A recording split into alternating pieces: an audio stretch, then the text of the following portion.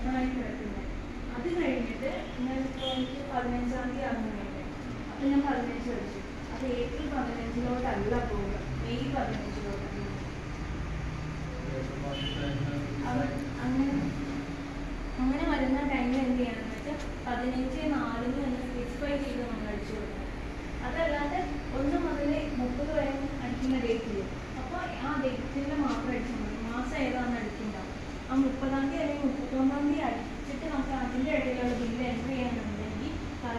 മാസം അടിക്കണം അല്ലെങ്കിൽ അടുത്ത മാസം